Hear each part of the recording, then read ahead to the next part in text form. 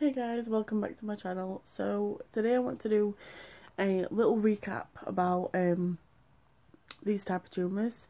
Now I'm, I would say a little bit more clear-headed but I'm really not. I'm really down and I've got about 8 or 9 days until my surgery and I'm feeling like crap uh, to be honest with you.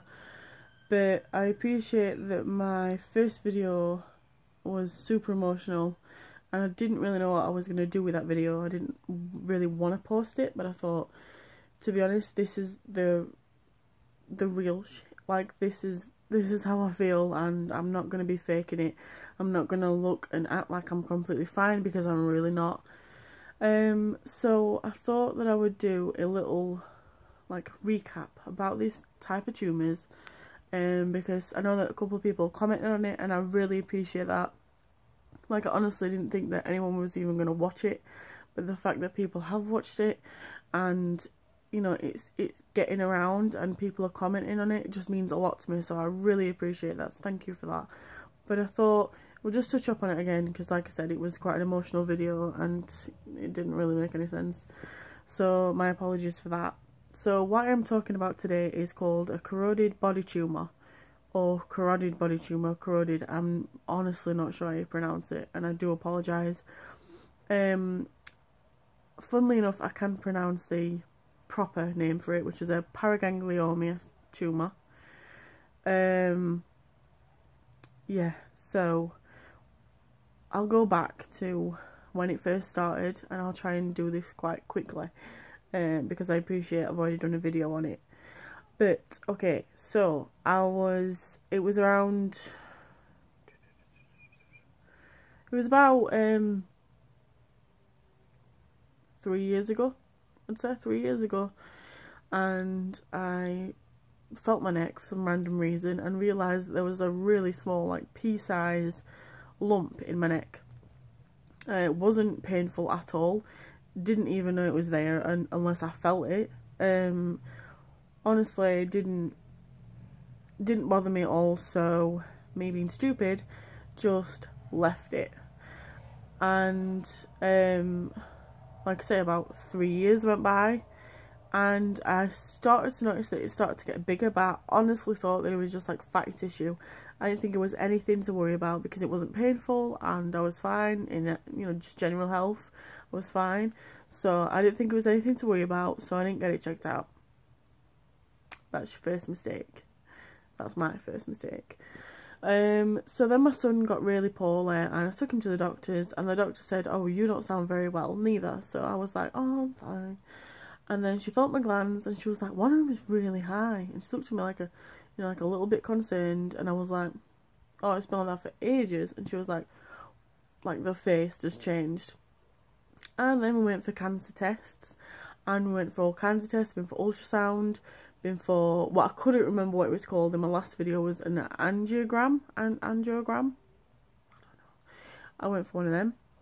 Uh, blood tests and MRIs a lot of MRIs and now we're at a stage where in about eight or nine days I'm going to have surgery to have it removed. Um this is it. You can see it. Um it is literally from there to there. Like it is really big. Um like this is the normal side. And then there's this. So yeah, it is really big. Um and it is really painful right now. So um, the, the thing is though, I've had about I've had tests for about um a year, but it's taken a year because I was pregnant with my fourth son, so um they had to wait basically to do any tests, so I couldn't really have any tests done, which is why it's taken, which is why it's taken so long. Um, the thing that I know about these kind of things, I have seen a, I'm seeing a specialist where I live in Sheffield, but I am going down to London to have my operation in Guy's Hospital. Um, the reason why I'm going down there is simply because um, they know more about these kind of tumours. Um, they are experts on these kind of tumours and um, yeah, they just know more about them than they do up here. And I had a really, really bad experience. Uh, not relating to this, but I had surgery before and it went completely wrong. So I think that they're just taking like extra, extra care of me this time, hopefully. So um, yeah, so that's that. But the thing that I know about them is they they normally get them, and no one actually knows why they're caused. Um, no one knows, which is strange, really strange. Um, so I had a letter come through the other day saying that these people were, I think they work in Guy's Hospital, and or they work in like a science lab or something, and they want to do tests on it, but I've got to give my permission, which to me seems really stupid because I'm like, why would I want it? You know, once it's out, do whatever you want with it. You know, play football with it. Like, really gross, but just do whatever. Because I don't want anything to do with a bloody thing again. Like, like you can keep it. Um, so yeah, I'm obviously going to sign that so that they can do tests on it and hopefully figure out what causes these kind of things and etc. Um, bloody hell. So, what was I saying? about these things, you normally, like young people like myself, I'm 26 and we do get them, obviously, but you normally get them when you're like 50, 60 over. And when you're that age, they, I'm guessing they would probably recommend radiotherapy because the reason why I'm not having radiotherapy is because it can cause a lot of problems.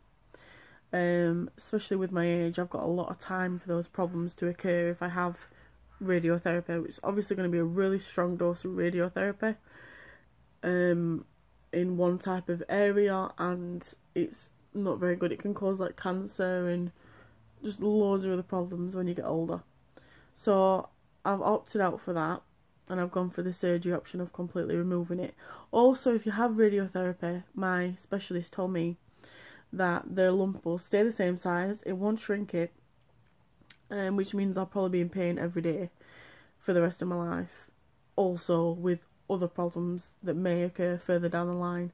So for me, surgery was like the last option I wanted to go for, but I thought that is the best option to go for. Um, as regards to my options, to be honest, the only reason why I didn't want to go for surgery is because I'm absolutely petrified. Like I've never been this scared in my life, to be honest, and um that is also with what happened to me before when I had surgery.